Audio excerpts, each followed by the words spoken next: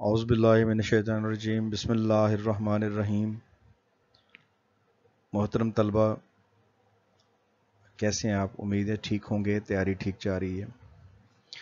तो आज मैं लेक्चर नंबर 46 में आपको वेलकम कहता हूँ।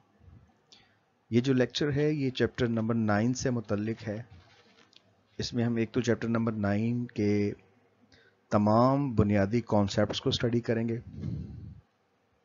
मज़ीद हम ये देखेंगे कि आया इस लेक्चर से रिलेटेड कौन से ऐसे क्वेश्चंस हैं जो फाइव ईयर पेपर्स में आए हुए हैं। तो मेरा मेन फोकस ये है कि जितने एमसीक्यूज जितने शॉर्ट क्वेश्चंस साप का पेपर्स में आ चुके हैं, आपकी प्रैक्टिस प्रॉपर उनके साथ हो जाए। तो आइए, बिस्मिल्लाह करते हैं जी। तो आज का सेगमेंट मैं आप लोगों के पसंदीदा पोर्शन से शुरू कर रहा हूँ। और आपको पता है वो कौन सा है? एमसीक्यूज का। तो आप एमसीक्यूज को करते हुए बड़ी खुशी महसूस करते हैं। लिहाजा मैं आज स्टार्ट ही एमसीक्यू से ले रहा हूँ।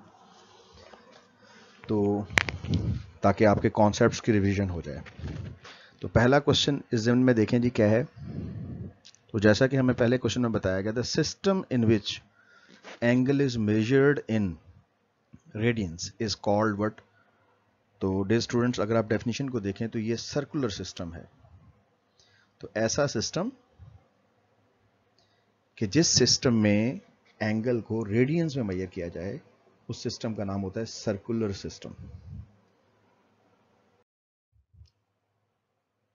question number two in one hour the hour hand of the clock turns through an angle जब एक घंटा गुजरता है तो जो घंटे वाली सुई है, वो कितना फासला तय करेगी? इसके लिए मैं आपको यहाँ पर ज़रा घड़ी बनाकर दिखा रहा हूँ। तो आप देखें डे स्टूडेंट्स अगर आप ऑब्ज़र्व करें, घड़ी इस तरह से होती है।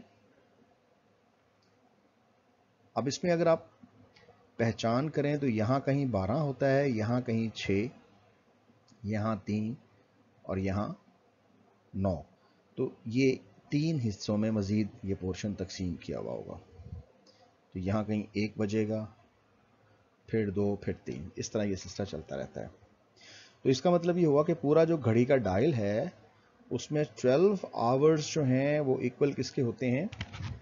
पूरे चक्कर के। और जो पूरा चक्कर है, उसमें होते हैं टू पाई रेडियंस तो इसका मतलब अगर आपको वन आवर चाहिए तो आप 12 से डिवाइड कर दें उस तरफ़। तो देखें क्या रिज़ल्ट आएगा। You will get pi over six जी हाँ। यू आर एट राइट इसका आंसर क्या होगा? आंसर बी होगा। So this is your required answer question number तीन में देखते हैं। कहता with the usual notation of L equal to अब देखें एल किसके इक्वल है। आपको पता है कि जब कोई हम सर्कल लें डेट सपोज़ ऐसा एक सर्कल हो तो इस सर्कल में जो आर्क लेंथ है, उसे आप एल से रिप्रेजेंट करते हैं, जो रेडियस होता है, उसे आर से, ये भी रेडियस ये भी रेडियस यहाँ पे जो एंगल होगा, उसे थीटा से रिप्रेजेंट करेंगे। तो आर्क लेंथ का और रिलेशनशिप जो होता है रेडियस के साथ, वो L is equal to R theta होता है। तो वेरी सिंपल सी ऑप्शन को आप टिक कर देंगे।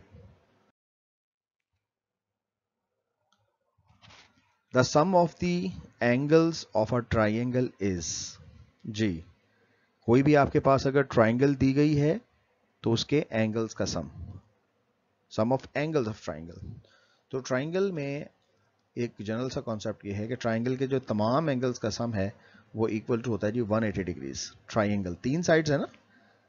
तो वैसे भी मैंने आपको एक बताया था फार्मूला क्या होता है कि आप पाई ले लें और इसे मल्टीप्लाई कर दें किससे? एन माइनस टू से। ठीक है जी? तो n minus two N minus two को मल्टीप्लाई कर दे पाई से, ये आपको टोटल एंगल्स बताएगा। अब यहाँ ट्राइंगल है तो ट्राइंगल की कितनी साइड हैं? You will say three minus two तो पाई से मल्टीप्लाई कर दें। तो ये आ जाएगा वन पाई और आपको पता है, एक पाई में 180 डिग्रीज होते हैं। तो ये बी ऑप्शन आंसर होगा। फाइव पाई बाय फोर को कन्वर्ट करना है रेडियंस में दिया हुआ है, और आप इसे डिग्रीज में कन्वर्ट करना चाहते हैं तो फाइव पाई बाय फोर तो आपको पता है पाई की वैल्यू कितनी होती है जी? वेरी सिंपल पाई की वैल्यू होती है 180 डिग्रीज डिवाइड बाय फोर तो फोर को इसे डिवाइड करें you will get five into forty five जी तो 45 को इससे मल्टीप्लाई करें। तो आपके पास कितना आंसर आ जाएगा? इट विल बी 225 तो इस तरह से डियर स्टूडेंट्स अगर आप रिज़ल्ट को देखें तो कौन सा रिज़ल्ट होगा? It should be D option number D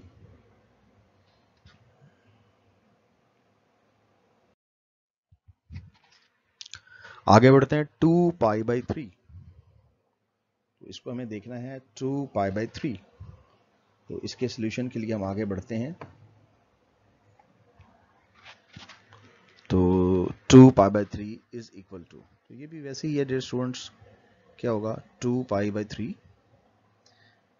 तो we can write it as two pi over three solve करते हैं जी इसे।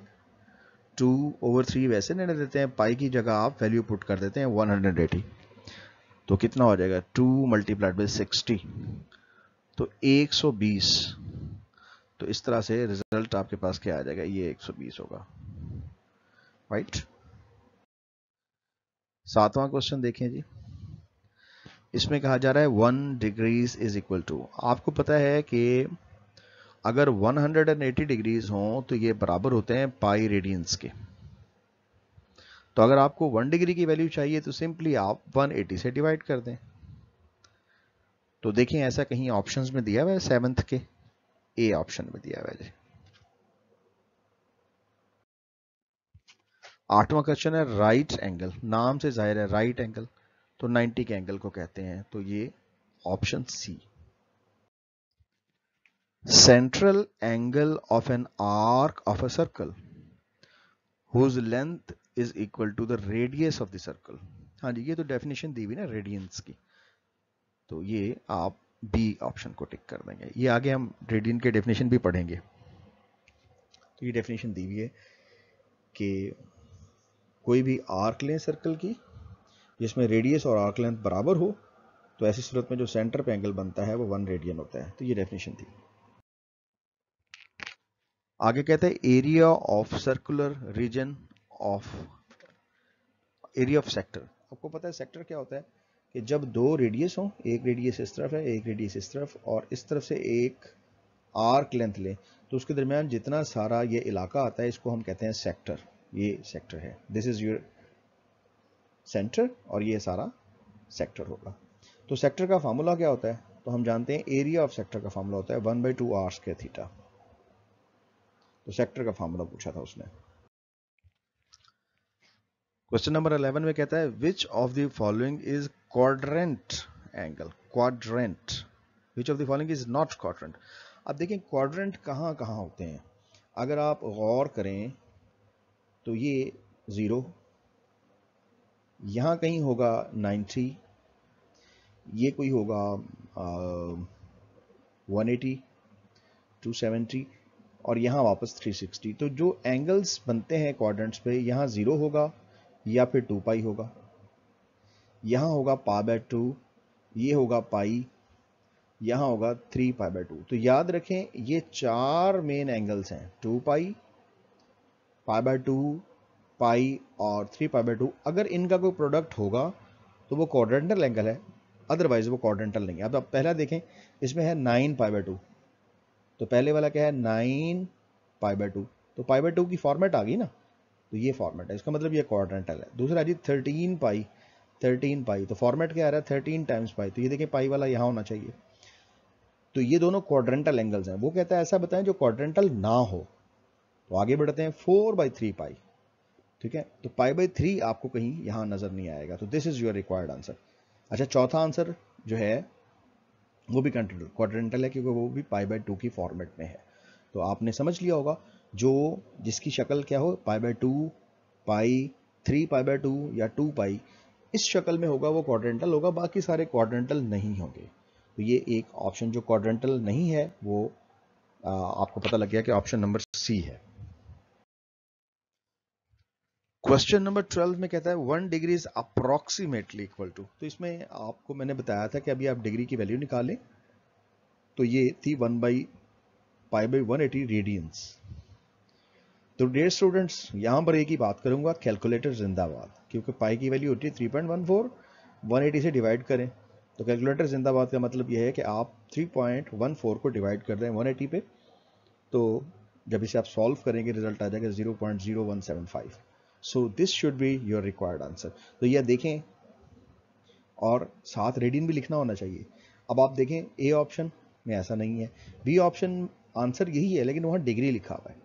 तो आपने भूलना नहीं है एहतियात से चारों ऑप्शंस को देखना है। तो आप अगर थर्ड ऑप्शन को देखें तो इसमें कुछ ऐसा रिज़ल्ट दिया हुआ है कि जिसमें 0.0175 भी लिखा है और रेडियंस भी लिखा है। तो ये जो बार्ट बी है, ये उन्होंने बस आपको चक्कर देने के लिए दिया हुआ है। थर्टीन क्वेश्चन देखें।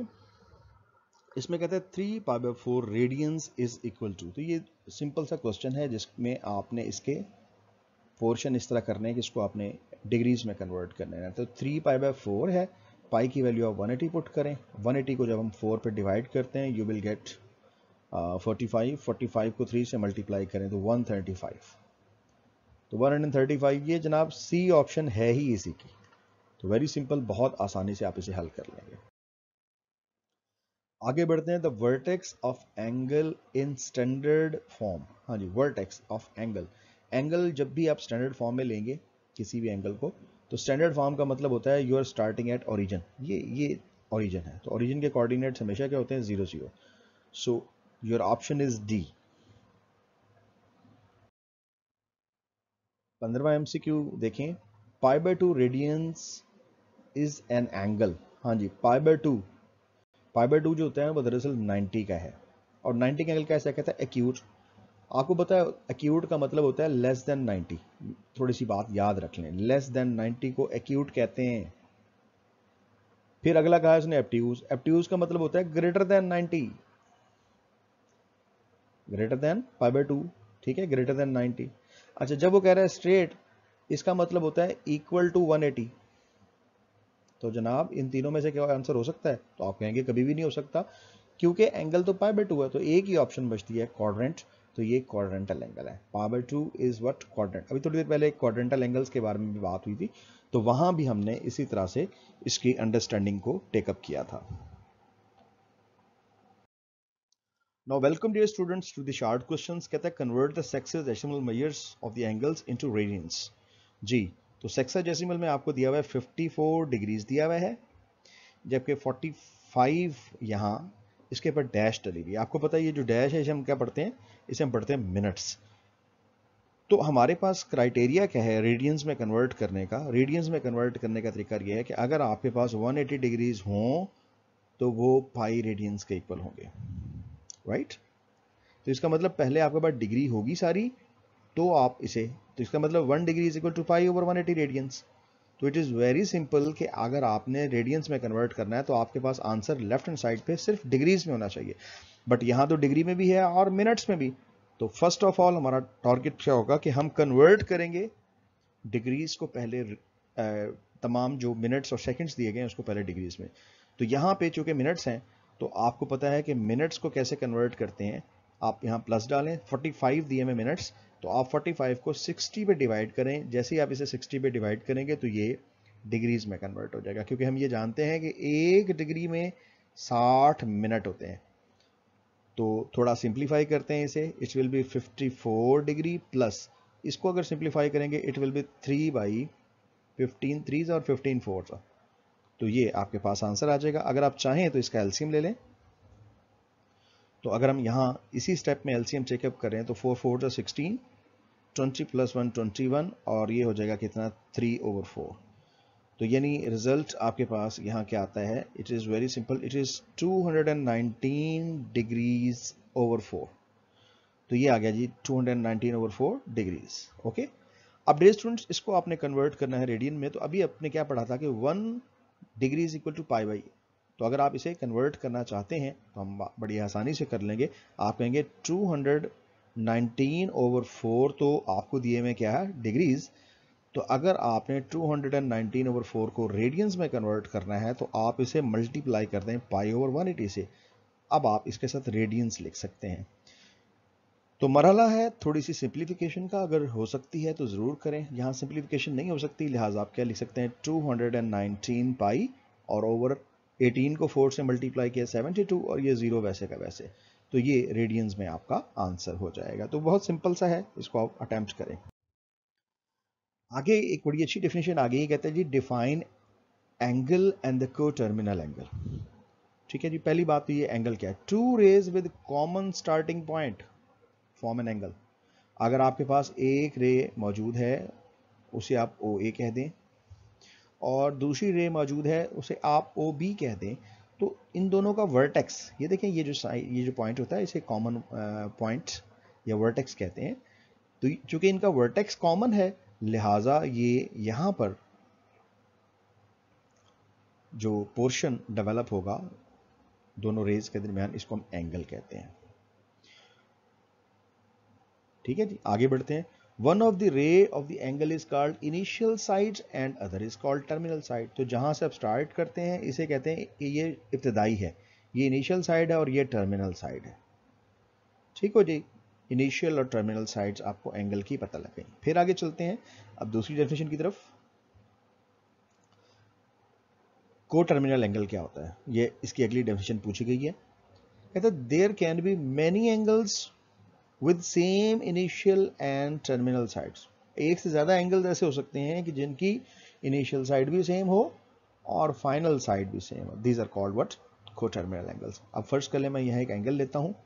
Let suppose this much and uh, is this much. अब इसमें मैंने इनिशियल साइड ली है ओ ए और फाइनल साइड ली है ओ बी अगर मैं यहाँ लेट सपोज़ बढ़ता हूँ एंगल में तो आपने ओ ए से ओ बी तक गए। लेट सपोज़ कि ये एंगल आपके पास 40 डिग्रीज है। तो वेरी सिंपल तो पहला एंगल आपके पास 40 डिग्रीज है। But if you take another angle like this कि आप यहाँ से मूव करते हैं, पूरा चक्कर लगा के फिर वापस यहीं पर आ जाते हैं तो ये एक अदर एंगल है। अब इस एंगल ने कितना ट्रेवल किया? एक पूरा चक्कर मुकम्मल किया, यानी 360 डिग्रीज और 40 डिग्रीज मजीद। तो अब इसका मतलब ये जो नया वाला एंगल है तो इसके लिए बुनियादी तौर पर क्या है? टोटल एंगल कितना हो जाएगा? इट विल बी 400 डिग्रीज ठीक हो गया जी? तो ये दोनों 400 डिग्रीज और 40 डिग्रीज ये दोनों एक दूसरे के को टर्मिनल एंगल्स कहलाते हैं। तो अगर वो आपसे पूछे तो कि जनाब 400 में और 40 डिग्रीज में क्या सिमिलरिटी है? You will say these are the coterminal angles यानी इनके टर्मिनल्स का स्टार्टिंग और एंडिंग पॉइंट सेम होगा। Define radian. जनाब, ये तो ऊपर हमने एमसीक्यूज में भी कर लिया था। तो radian is the measure of the angle subtended at the centre of the circle of an arc whose length is equal to the radius of the circle ये अगर हम एक सर्कल लेते हैं लेट सपोज़ कि ये अगर हम एक सर्कल लेते हैं तो इस सर्कल का कोई सेंटर होगा। अब सेंटर से लेकर आप एजिस तक कोई भी दो साइड से ले लें तो आप देख रहे हैं, ये भी रेडियस है, ये भी रेडियस है तो ये जो पोर्शन है ना, ये है आर्क लेंथ का। अगर ऐसा हो जाए कि रेडियस की लेंथ और आर्क लेंथ ये दोनों बराबर हो जाएँ तो जो सेंटर पे एंगल बनेगा ना, वो वन रेडियन होगा। सेंटर पे बनने वाला एंगल वन रेडियन होगा जब ये आर्क लेंथ ठीक है this is your arc length and this one is radius तो जब कभी रेडियस और आर्क लेंथ दोनों इक्वल हो जाएँ तो ऐसी सूरत में जो सेंटर पर एंगल बनता है वो वन रेडियन होता है। जहाँ मैंने वन लिखा ना, इस वन से मुराद है वन रेडियन तो ये इसकी जो मेज़रमेंट होगी इक्वल टू वन रेडियन होगी। और मैंने आपको पहले भी बताया था कि वन रेडियन को अगर आप डिग्रीज में कन्वर्ट करें तो ये कोई 57.3 डिग्रीज के बराबर होता है। राइट जी क्वेश्चन नंबर फोर की तरफ़ बढ़ते हैं। तो ये भी जो प्रीवियस क्वेश्चन है, उससे मिलता जुलता है। कहते हैं express the following sexagesimal measures of angles in radians तो रेडियंस में कन्वर्ट करना है बहुत आसान है। क्योंकि ये 75 डिग्रीज है, यहाँ पे सिक्स मिनट्स हैं। तो जो मिनट्स हैं इसको डिग्री में बदलने के लिए आप एक बार 60 पर तकसीम कर देंगे, ये डिग्री बन जाएगी। यहाँ मैंने प्लस डाल देना है। इसी तरह 30 सेकेंड्स हैं तो इसे दो बार 60 पे तकसीम करते हैं जनाब। क्योंकि हम ये जानते हैं कि वन डिग्री जो है वो इक्वल टू सिक्सटी मिनट्स होता है। और जहाँ तक ताल्लुक है सेकंड्स का तो अगर हम एक डिग्री में को सेकंड में कन्वर्ट करना चाहते हैं तो उसे 60 इंटू सिक्सटी कर देंगे और ऊपर दो लाइंस डाल देंगे। इसका मतलब वो सेकंड्स में कन्वर्ट हो रहा है। तो आगे बढ़ते हैं डेयर स्टूडेंट्स तो इसको थोड़ा सिंप्लीफाई करते हैं। कोई एलसीएम लेने की ज़रूरत है तो वो भी लेते हैं। तो यहाँ पर देखें कि टर्म्स कैसे सिंप्लीफाई होंगी। यू विल गेट 75 ऐसे रहने देंगे। 60 को और इसको डिवाइड करें 1 बाई टेन रह गया। और 30 को इससे डिवाइड करें इट विल बी 32 सा तो ये आ जाएगा जी 120 डिग्रीज तो हम ले लेते हैं एलसीएम 120 जो है, वो एलसीएम आ जाएगा। तो 120 को अगर हम एलसीएम ले लें तो 120 ट्वेंटी यहाँ 75 से मल्टीप्लाई हो जाएगा। इसे अगर आप लें तो I think it will be twelve और ये पूरा का पूरा वन आ जाएगा। तो इन सबको ऐड कर लें जनाब। तो ये नौ हज़ार तेरह बन जाएगा। ओवर वन ट्वेंटी तो ये हमने क्या किया? पूरी की पूरी जो क्वांटिटी थी, उसको कन्वर्ट कर लिया किसमें डिग्री में। तो इसलिए मैं ये ज़ीरो का सिंबल ऊपर डाल देता हूँ, क्योंकि ये डिग्री को रिप्रेजेंट करता है। तो अगर आपने रेडियन में कन्वर्ट करना है तो जैसे कि मैंने आपको प्रीवियसली बताया था कि वन डिग्री किसके बराबर होता है? वन डिग्री जो है, वो pi over one eighty radians के बराबर होता है। तो ओके अगर आप नौ हज़ार तेरह ओवर वन ट्वेंटी अगर आपके पास डिग्री दिया हुआ है तो इसको अगर आप कन्वर्ट करना चाहते हैं तो इट इज़ वेरी सिंपल के 9013 को डिवाइड बाय 120 अब आप इसे मल्टीप्लाई किससे करेंगे? पाई और 180 से। अगर देखें कुछ सिंप्लीफाई हो सकता है तो सिंप्लीफाई कर लें। अदरवाइज़ आप इसको फाइनल आंसर के फॉर्मेट में क्या लिखेंगे? इट विल बी 9013 18 ये दोनों मल्टीप्लाई कर लेना। आप जनाब ज़ीरो ज़ीरो अट्ठारह को 12 से मल्टीप्लाई करें तो ये आ जाएगा जी 216 यानी 216 तो आप यहाँ फाइनली क्या लिख देंगे? रेडियंस ठीक है? तो इस तरह से आप क्वांटिटी को रेडियंस में कन्वर्ट करेंगे। वो बड़ी सिंपल है। थोड़ी सी कैलकुलेशन कीजिएगा इंशाल्लाह। तो what is the circular measure of the angle between the hands of the watch at four o'clock बहुत आसान क्वेश्चन ये इस तरह का एक एमसीक्यू भी आया हुआ था। वो कहता है कि ये आपके पास एक घड़ी है और घड़ी पे बज गए हैं चार। ऐसे ही है जी। ये चार बज गए हैं। ठीक है, यहाँ बारह होता है तो एक, दो, तीन, चार बज चुके हैं। तो एक बात आपके इल्म में है डे स्टूडेंट्स और वो क्या? कि घड़ी में ना ट्वेल्व आवर्स जो होते हैं, ये बराबर होते हैं टू पाई रेडियंस के। तो वन आवर कितना हो जाएगा? You will say two pi over twelve radians अब एट फोर ओ क्लॉक ठीक है टाइम कितना हो चुका है? चार बज चुके हैं। तो कहेंगे एट फोर ओ क्लाक। जब चार बजेंगे, आप इसे चार से मल्टीप्लाई कर दें तो क्या होगा? चार आवर्स गुजर चुके हैं, चार से इसे मल्टीप्लाई करें। इसको थोड़ा सिंप्लीफाई कर लें तो इसे आप पाई बाई सिक्स भी लिख सकते हैं। तो अब आप थोड़ा सिंप्लीफाई कर लें तो रिज़ल्ट आ जाएगा two pi over three radians तो अगर आप इसे डिग्री में कन्वर्ट करना चाहें तो वो भी कर सकते हैं। इट इज़ वेरी सिंपल आगे कहते हैं find L when theta is given and other quantities also given तो बेटा एल आपने फाइंड करना है। फार्मूला ये होता है कि L is equal to R theta होता है। तो इसमें एक आपको आर चाहिए। आर तो आपको दिया हुआ जी 18 तो बड़ा सिंपल सा है। ये आप कुछ कर देंगे। आर आपको दिया हुआ है 18 और मिलीमीटर्स में दिया हुआ है। अच्छा एंगल आपको दिया हुआ है थीटा बट ये थीटा सारा का सारा डिग्रीज में नहीं है। आपको आंसर यहाँ रेडियंस में चाहिए। तो थीटा दिया हुआ है कितना? इसकी ज़रा आप कन्वर्शन कर लें। तो थीटा आपको दिया हुआ है सिक्सटी फाइव डिग्रीज लेकिन ट्वेंटी मिनट्स हैं। तो मैंने क्या बताया? ट्वेंटी के सिक्सटी पे डिवाइड कर दें ताकि ये डिग्रीज में कन्वर्ट हो जाए, दरम्यान में प्लस डाल देंगे, ताकि जब ये सोल्यूशन इसका हो जाए तो सिंप्लीफाई कर लें। तो कितना होता है? सिक्सटी फाइव इसको डिवाइड कर लें तो ये वन बाई थ्री आ जाएगा। अगर आप इनका एलसीएम लें तो फाइव थ्री ज़ा fifteen and 18 plus one nineteen plus one over three तो ये कितना बन गया जी? 196 ओवर थ्री 196 ओवर थ्री तो ये आपके पास क्वांटिटी आ जाएगी रेडियंस में। क्वांटिटी uh, आ गई अभी डिग्रीज में। अच्छा अब आपने इसे कन्वर्ट किसमें करना है? तो 196 ओवर थ्री है डिग्री तो अगर आप इसे रेडियन में कन्वर्ट करना चाहते हैं तो 196 ओवर थ्री को आप मल्टीप्लाई कर देते हैं किससे? पाई ओवर 180 से। या पाई ओवर 180 की वैल्यू आपके पास कितनी होती है? अभी हमने थोड़ी देर पहले कैलकुलेट किया था और वो कितनी थी? आप जानते हैं कि वो वैल्यू थी दैट वाज 0.0175 तो इसको सिंप्लीफाई करें तो ये बनेगा तकरीबन 1.14 तो ये वैल्यू उठाएँ जनाब आप, ये वहाँ पुट कर दें 1.14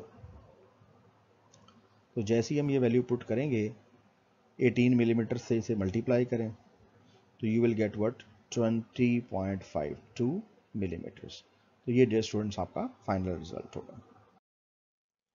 क्वेश्चन नंबर सेवन बड़ा सिंपल सा फिर शुरू हो गया, कहते हैं convert sexagesimal measures in radians तो आप पहले वाली क्वांटिटी मैंने बताई थी कि 180 degrees equal to pi radians होता है, ये स्टैंडर्ड है वन डिग्री जो है वो पाई ओवर वन एटी के इक्वल हो जाएगा रेडियंस में। तो अगर आपको 150 डिग्रीज की वैल्यू चाहिए तो आप 150 को मल्टीप्लाई कर दें पाई ओवर 180 से। तो इट इज़ वेरी सिंपल थोड़ा सिंप्लीफाई करना पड़ेगा। तो अगर हम ज़ीरो से ज़ीरो कैंसिल कर दें फाइव थ्री पे डिवाइड कर सकते हैं। फाइव थ्री ज़ा फिफ्टीन और फाइव सिक्स एटीन तो फाइव पाई बाई सिक्स ये आपका रिक्वायर्ड एंगल हो जाएगा, लेकिन किसमें? रेडियंस में। तो इस तरह आप आसानी से इसे रेडियंस में कन्वर्ट कर सकते हैं।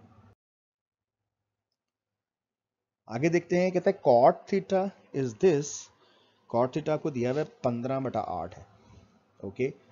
And the terminal arm of the angle is not in the quadrant one और जो टर्मिनल आर्म है, वो पहले क्वाड्रेंट में नहीं है, ठीक है? ओके? लेकिन कॉट पॉजिटिव दिया हुआ है।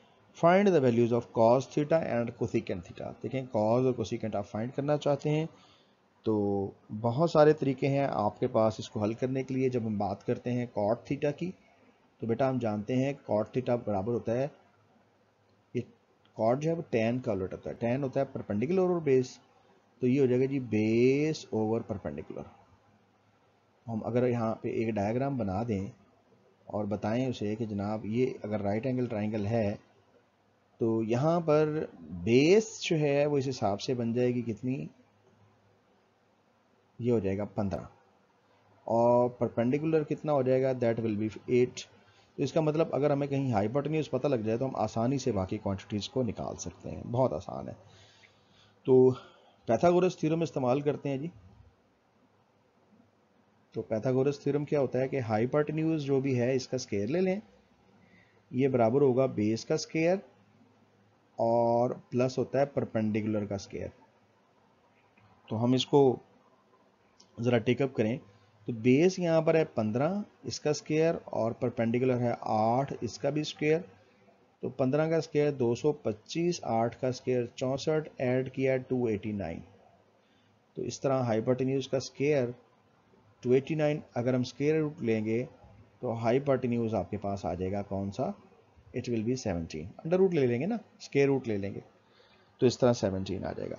अब आपको कॉस थीटा के बारे में इंफॉर्मेशन है कि कॉस थीटा होता है क्या? ये होता है जी बेस ओवर हाइपोटेन्यूज तो बेस यहाँ पर कितना निकला है जनाब? एट और हाइपोटेन्यूज सेवनटीन और जहाँ तक ताल्लुक है, दूसरी चीज़ क्या फाइंड करनी है? कॉस थीटा फाइंड होने के बाद कोसिकेंट थीटा ठीक है जी कोसिकेंट थीटा जो है, अगर हम उसके बारे में बात करें तो ये कोसिकेंट जो है ये होता है हाइपोटेन्यूज ओवर परपेंडिकुलर साइन का उलट होता है ना? तो हाइपोटेन्यूज कितना है? सेवनटीन परपेंडिकुलर कितना है जी? आठ.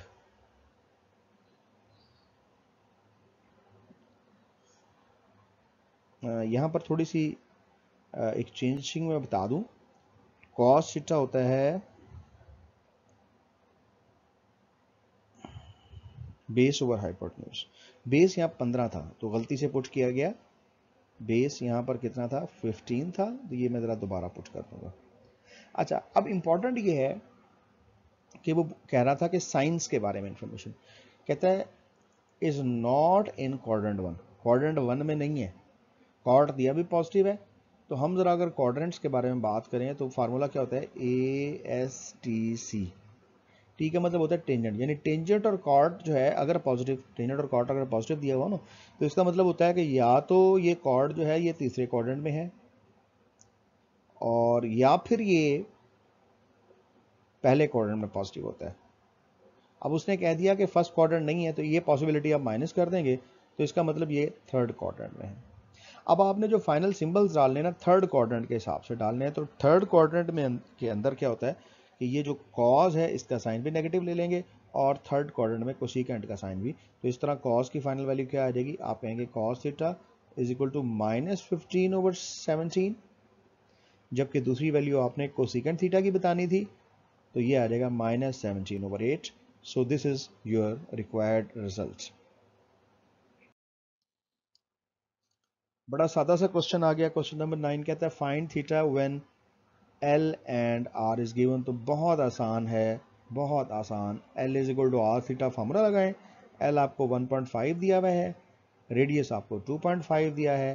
थीटा को कैलकुलेट कर लें तो सिंपली एक अरिथमेटिक सी एक सादा सी कैलकुलेशन के बाद आप इस रिज़ल्ट को निकाल लेंगे। लेकिन एक चीज़ का या, रिज़ल्ट याद रखना है कि यहाँ पे थीटा जो होगा वो रेडियंस में होगा। जो थीटा का फाइन क्वेश्चन नंबर टेन फिर ये बड़ा सिंपल सा आ गया कि convert sexagesimal measures in radians तो इसको आपने रेडियन में बदलना है तो हमें तो एक ही बात पता है कि one degree is equal to pi over one eighty radians तो सारा का सारा जो क्वेश्चन है वो आपको डिग्रीज में दिया होना चाहिए बट यहाँ तो आ, कुछ और है बात. तो आपको यहाँ क्वेश्चन का पहला हिस्सा मिनट्स में दिया हुआ है दूसरा हिस्सा सेकेंड्स में दिया हुआ है. तो आप क्या करेंगे? इसकी कन्वर्शन करेंगे जनाब। क्या तरीक़ेकार बताया था मैंने आपको कि अगर आपको डिग्रीज में से लेके जाना है तो मिनट्स को 60 पे डिवाइड कर दें और फिर प्लस डालें, फिर 40 है। अगर इसको भी आपने कन्वर्ट करना है तो इसे दो बार 60 पे डिवाइड कर दें। अब थोड़ा सा सिंप्लीफिकेशन का प्रोसीजर होगा। तो 62 टू ज़ा वन ये तो जनाब सिंपली हल हो गया। और 40 ज़ीरो से ज़ीरो कैंसिल कर दें।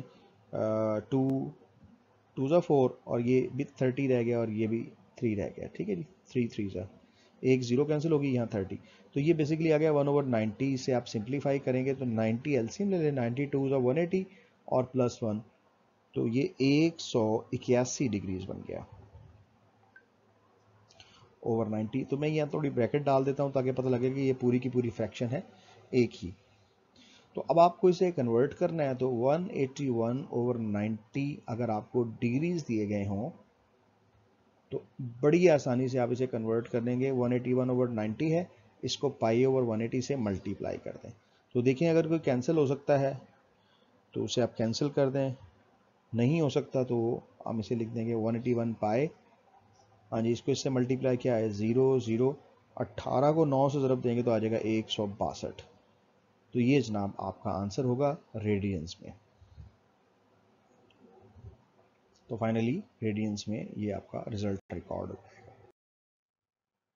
नेक्स्ट क्वेश्चन में कहता है कि एवेल्यूएट द वॉल्यूम तो इसमें थोड़ा सा ये है कि आपको ज़रा वैल्यूज़ याद रखनी पड़ेगी कि कौन सी वैल्यू किसके बराबर होती है। तो मैं थोड़ा सा आपकी रिवीजन करा दूँ, जो टेन पाई बाय थ्री है, यानी टेन सिक्सटी के बारे में बात हो रही है। इसकी वैल्यू होती है जी अंडर रूट थ्री और जहाँ तक ताल्लुक है टेन पाई बाई सिक्स का तो इसका मतलब आप कह रहे हैं टेन थर्टी। और टेन थर्टी की वैल्यू होती है one over under root pi. तो बस मैंने और कुछ भी नहीं करना, जस्ट इन वैल्यूज़ को मैं एंटर करूँगा और सिंप्लीफाई करूँगा तो यहाँ आ जाएगा under root three, minus one over under root three. और सबके ओवर में क्या है, one plus one under root three times one over under root three. तो ये जो नीचे वाला हिस्सा है ना, इसमें ये दोनों कैंसिल हो गए। ऊपर वाले हिस्से का ज़रा आपको एलसीएम लेना पड़ेगा। तो देखिए, मैं अगर एलसीएम लूँ तो ये आ जाएगा अंडर रूट थ्री ये under root three under root three से मल्टीप्लाई हो गया और माइनस वन एलसीएम लेने की वजह से ये आ जाएगा वन प्लस वन तो अंडर रूट थ्री का स्केयर हो जाएगा। और माइनस वन ओवर में आ गया ये अंडर रूट थ्री अच्छा इधर जब इस वन प्लस वन को ऐड करते हैं तो अगले स्टेप में इसे टू बनाकर लिख सकते हैं। तो बच्चों, ये आ जाएगा three minus one over three under root into two तो फाइनली आंसर क्या आ गया? ऊपर टू रह गया और नीचे आ जाएगा two into under root three अब यहाँ पर आप देखें कि कुछ वैल्यूज़ हैं जो कैंसिल हो सकती हैं। जैसे ये वाला टू इस टू से कैंसिल हो सकता है। तो you will get only one over under root three so this is your required answer question number twelve में कहता है जी कि प्रूव दैट द आइडेंटिटीज तो ये आपको एक आइडेंटिटी दी गई है। इसको सिंप्लीफाई करें तो मैं इसमें ये करूँगा कि लेफ़्ट हैंड साइड को टेकअप कर लूँगा। तो यहाँ आपको दिया हुआ है कि secant theta plus tan theta और secant theta minus tan theta तो इस पर मैं एक आइडेंटिटी लगा देता हूँ। वो क्या है कि जब आपको एक टर्म ए प्लस बी दी गई हो और दूसरी ए माइनस बी तो इसे आप लिख सकते हैं A square minus B square तो ये आइडेंटिटी मैं यूज़ कर रहा हूँ। अब देखिए इस आइडेंटिटी को अगर हम यूज़ करेंगे तो क्या लिख सकते हैं? ये आ जाएगा सेकेंड थीटा यानी फ़र्स्ट टर्म का स्केयर और माइनस टेंजेंट थीटा के लिए भी स्केयर हो जाएगा। तो आपको पता है सेकेंड स्केयर थीटा रह जाएगा माइनस क्या आ जाएगा टेंजेंट स्केयर थीटा अब यहाँ पर मैं एक और आइडेंटिटी यूज़ करता हूँ, और वो क्या होती है कि one plus tangent square theta is equal to secant square theta ये बड़ी पॉपुलर आइडेंटिटी है। तो यहाँ मैं one plus tan square theta की जगह इसको वैल्यू को पुट बैक करूँगा। तो ये आप देख रहे हैं कि ये वैल्यू वैसे आ जाएगी सीकेंड स्केयर थीटा माइनस अब यहाँ ब्रैकेट डाल के ना तो मैं टेन की की जगह पे या सीकेंड स्केयर थीटा की जगह पे आप ये वैल्यू पुट कर दें। तो आपके पास चॉइस है कि चाहे चाहे सीकेंड अगर हम सीकेंड की जगह पुट कर दें तो आई थिंक ज़्यादा बेटर है। सेकेंड की जगह जस्ट लिख दें one plus tan square theta और माइनस क्या आ जाएगा? टेन स्केयर थीटा तो ये दोनों वैल्यूज़ आपस में कैंसिल हो जाएँगी। तो आपके पास फाइनली वन रह गया। तो ये वन ही आपका रिज़ल्ट होगा। तो चूँकि वन ही प्रूफ करना था राइट हैंड साइड पे तो आप कहेंगे this is equal to right hand side तो ये प्रूव हो गया। क्वेश्चन नंबर थर्टीन है। ये भी प्रीवियस क्वेश्चन की तरह कहता है find the values of the remaining trigonometric function हाँ जी रिमेनिंग का मतलब उसने आपको आ, कह दिया कि सब ट्रिग्नोमेटिक रेशियोज लें। When sine theta is equal to uh, 12 by 13 and terminal arm is in the one quadrant. First quadrant में कहने का फ़ायदा ये हो गया कि आपको पता लग गया कि सारे के सारे वैल्यूज़ इसकी पॉजिटिव होंगी तो यहाँ आपको साइन थीटा दिया गया जनाब। तो ये है बारह बटा तेरह। तो बहुत आसानी से अगर आपको साइन दिया गया हो तो आप आसानी से कॉज भी निकाल सकते हैं। कैसे निकालेंगे जनाब? ठीक है? तो कॉज कैसे निकलता है? कॉज थीटा स्केयर थीटा बराबर होता है one plus one minus sines के थीटा अगर आप आइडेंटिटी को देखें तो one minus twelve over thirteen whole square LCM लें जनाब, क्या आ जाएगा? 169 माइनस वन ओवर 169 तो सिंप्लीफाई करते हैं तो 25 बटा एक सौ उनहत्तर। तो ये कॉस के थीटा के है? तो अगर आपको सिर्फ़ कॉस थीटा की वैल्यू चाहिए तो फाइनली आप क्या लिख सकते हैं? आप कहेंगे जी cos theta will be equal to five over thirteen तो यहाँ पर मैंने साइन प्लस इसलिए डाला है कि उसने कह दिया था कि terminal arm is in the first quadrant तो यहाँ ऊपर आइडेंटिटी कौन सी यूज़ की है? आप कहेंगे आइडेंटिटी ये वाली यूज़ की है कि साइंस के थीटा प्लस कॉस के theta is equal to one ये बड़ी सिंपल सी आइडेंटिटी हमने यूज़ की है तो इस तरह आपके पास साइन की वैल्यूज़ भी आ गई। साइन की तो पहले से मौजूद थी तो कॉस की भी निकल आई। तो अब अगर आपने टेंजेंट की वैल्यू लेनी है तो टेंजेंट कैसे हल होता है? तो ये मैं यहीं ऊपर ही हल कर देता हूँ, ताकि बाकी तमाम वैल्यूज़ हम यहीं से निकाल लें। तो टेंजेंट थीटा की वैल्यू क्या होती है? आप कहेंगे टेंजेंट थीटा हमें तब मिलता है जब हम साइन थीटा की वैल्यू को डिवाइड कर दें कॉस थीटा से। अब साइन थीटा कितना था जनाब? दैट वाज 12 ओवर 13 अच्छा जी कॉस थीटा भी कितना निकला है? 5 बाई थर्टीन हाँ जी, बटे के नीचे बटा इसे ऊपर ले जाएँ। 12 over 13 into thirteen over five simplify करेंगे you will get twelve over five अच्छा जहाँ तक ताल्लुक है तमाम ट्रिग्नोमेट्रिक रेशियोज का तो देखें साइन तो मौजूद है आपके पास। कॉस भी मौजूद है। और टेंजेंट भी। हाँ जी क्या क्या वैल्यूज़ निकली हैं जी? साइन की वैल्यू थी ट्वेल्व ओवर थर्टीन तो कॉस की वैल्यूज़ क्या निकली हैं जी? It is five over thirteen जबकि टेंजेंट की वैल्यू क्या आई? ट्वेल्व ओवर फाइव तो ये वैल्यूज़ आप यहाँ पुट कर दें। अच्छा अब आपने जाना है इनकी रेसिप्रोकल आइडेंटिटीज की तरफ़। तो साइन का रेसिप्रोकल अगर आप देखें तो साइन का रेसिप्रोकल क्या होता है? कोसिकेंट कॉस का रेसिप्रोकल क्या होता है जी? सिकेंट होता है, और टेंजेंट का रेसिप्रोकल होता है जी कॉट तो बहुत आसानी के साथ आप इन वैल्यूज़ को पुट करेंगे। अब देखिए, साइन की जो वैल्यू थी, इसका रेसिप्रोकल ये कितना था? ट्वेल्व ओवर थर्टीन आप इसे just reciprocal thirteen over twelve कर दें। सेकेंड की वैल्यू क्या थी? फाइव ओवर थर्टीन आप इसे थर्टीन ओवर फाइव करके लिख दें। अच्छा जी, आगे देखते हैं। ये ट्वेल्व ओवर फाइव है तो इसका रेसिप्रोकल क्या आ जाएगा? फाइव ओवर ट्वेल्व तो वेरी सिंपल इस तरह से आप इनकी वैल्यूज़ को आसानी से एवेल्युएट कर सकते हैं। बढ़ते हैं आगे क्वेश्चन नंबर फोर्टीन की तरफ़। इसमें कुछ कहा गया है कि आइडेंटिटीज को आप प्रूफ करें तो हम यहाँ पे टेकअप करेंगे लेफ़्ट हैंड साइड को। जिसमें आपको दिया हुआ है cot square theta minus cos square theta अब आप इस आइडेंटिटी में वैल्यू पुट करते हैं तो अब वैल्यूज़ क्या पुट करेंगे? अब कॉट की जगह आ सकता है कॉस के थीटा ओवर साइंस के थीटा क्योंकि हम वैल्यू जानते हैं कि जब भी कॉट पुट करें कॉट होता है साइन कॉज ओवर साइन तो ये मैं आइडेंटिटी उसकी जगह यूज़ कर रहा हूँ। माइनस क्या आ जाएगा जी? कॉस के थीटा आप इनका एलसीएम चेकअप करें। एलसीएम आ जाएगा साइंस के थीटा यहाँ पर आ जाएगा क्या? कॉस के theta minus cos square theta into sine square theta अब डियर स्टूडेंट्स इसमें से हो क्या सकता है? Cos square theta can be taken as common तो बाकी रह जाएगा वन माइनस साइंस के थीटा और आप क्या जानते हैं कि वन माइनस साइंस के थीटा किसके बराबर होता है? इट इज़ कॉस के थीटा वन माइनस साइंस के थीटा की जगह आ जाएगा कॉस के थीटा ओवर क्या है जी साइंस के थीटा अब फिर कॉस ओवर साइन आ गया तो इसकी जगह आप वैसे रहने देंगे कॉस के थीटा ये वैसे आ गया. जबकि जो कॉज ओवर साइन है, इसकी जगह आ जाएगा कॉट स्केयर थीटा तो आपकी मर्ज़ी ऐसे रहने दें या थोड़ा ऑर्डर बदल दें, क्योंकि ऑर्डर कैसे है? ऑर्डर में कॉट को पहले लिखा गया है तो ओके आप कॉट को पहले लिख दें.